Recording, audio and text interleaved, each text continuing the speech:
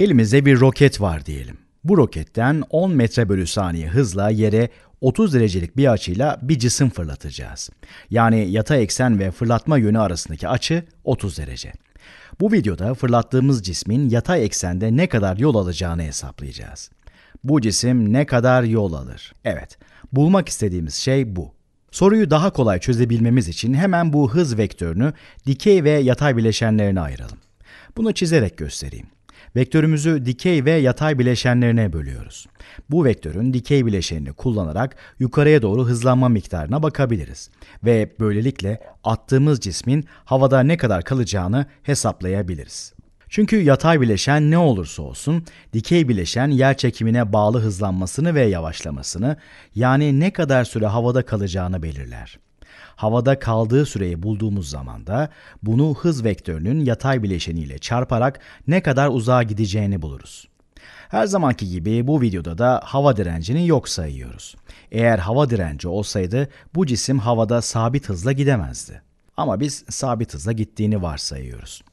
Hava direncini yok saymak için bu deneyin ayda yapıldığını varsayabiliriz. Neyse probleme geri dönelim. İlk önce hız vektörünü bileşenlerine ayıracağız. Evet, 10 metre bölü saniye büyüklüğünde ve yatay düzlemle 30 derecelik bir açısı olan bu vektörü x ve y yani yatay ve dikey bileşenlerine ayıracağız. Yatay bileşeni yatay eksenin üzerinde, biraz daha düzgün çizeyim. Dikey bileşeni de ona dik, dolayısıyla yukarı doğru olacaktır.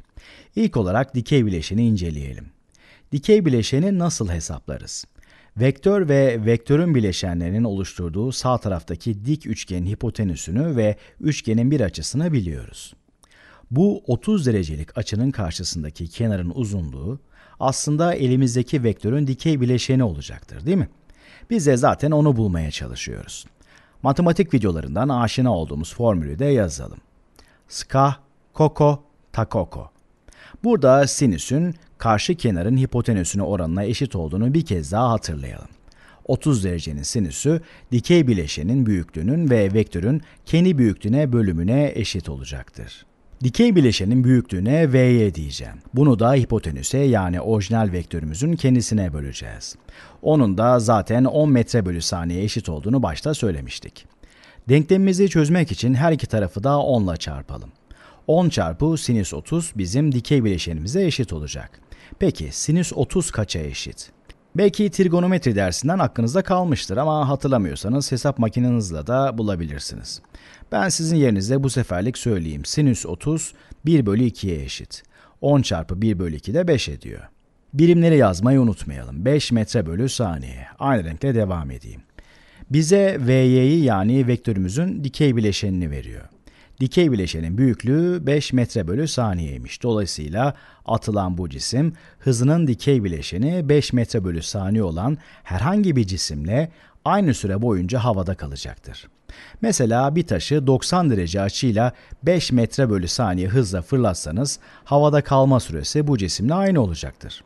Şimdi cismin havada kaldığı bu süreye bakalım. Bu cismin hareketi yerde başlayacak ve aynı seviyede yani yerde bitecek. Burada hava direncinin önemsiz olduğunu düşünüyoruz.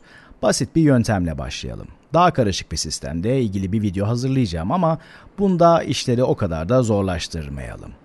Hareket boyunca cismin hızındaki değişim ne kadar? İlk önce hıza bakalım. V'yi diyeceğiz. Bir saniye neden konuştuğumuzu belirleyelim. Yine dikeydeki hızdan bahsediyoruz. Dikey eksendeki ilk hızımız 5 metre bölü saniye olacak. Bu arada yukarıyı pozitif, aşağıyı negatif olarak düşünelim. Peki son hız ne kadar? Cisim yukarı doğru çıkacak, yer çekimi inmesinden etkilenecek. Bir süre havada hareketsiz kalacak ve hızlanarak aşağı düşecek. Hava sürtünmesini önemsemediğimiz için bu hareketin sonunda ilk hızla aynı büyüklükte ama zıt yönde bir hızla hareket sonlanacaktır. Bakın unutmayın. Burada sadece vektörün dikey yani y bileşeninden bahsediyoruz. Yatay eksenindekini incelemeye daha başlamadık bile. Biz bu cismin havada ne kadar kaldığını hesaplamaya çalışıyoruz. Son hızımız eksi 5 metre bölü saniye olacak. İlk hız ve son hız işte bu şekilde gösterilebilir. Aynı büyüklük ama farklı yönlerde.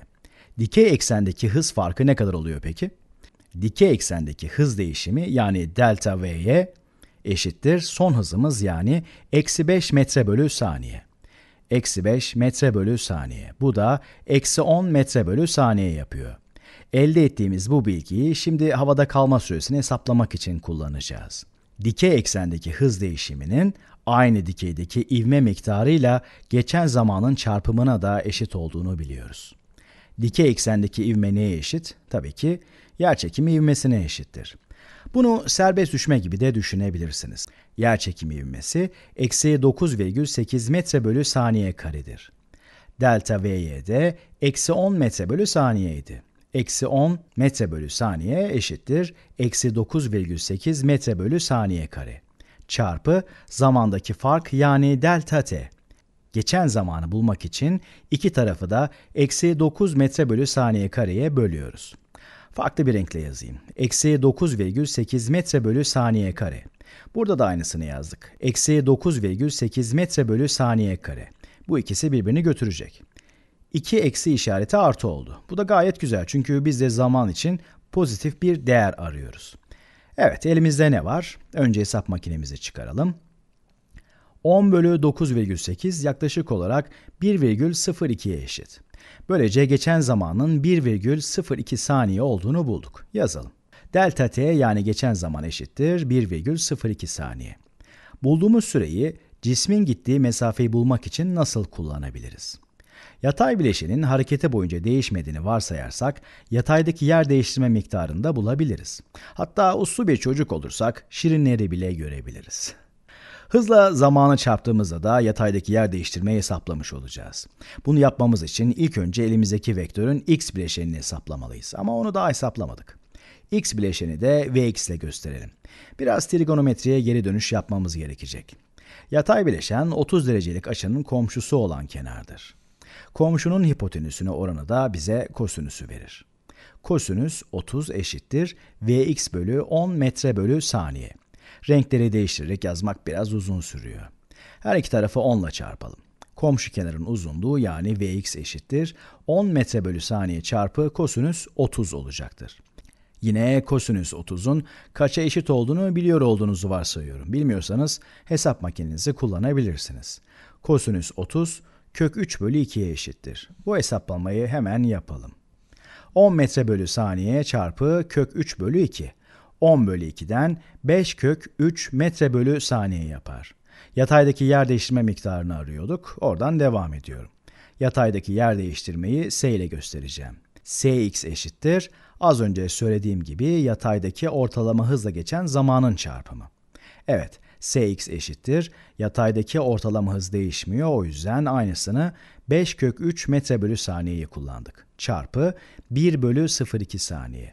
Saniyeler birbirini götürür. Elimizde sadece metre kalır. Hesap makinemizi tekrar çıkaralım.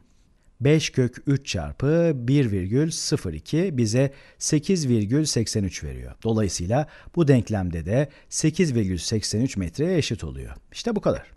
Sonraki videoda size delta t'yi bulmanın başka bir yolunu göstereceğim. Aslında bu soruyu çözmek için oldukça fazla yöntem var. Fakat şu an kullandığımız yöntem biraz karmaşık olsa da en iyi yöntemlerden biridir. Çünkü soruyla ilgili çoğu verinin değerini hesaplıyoruz.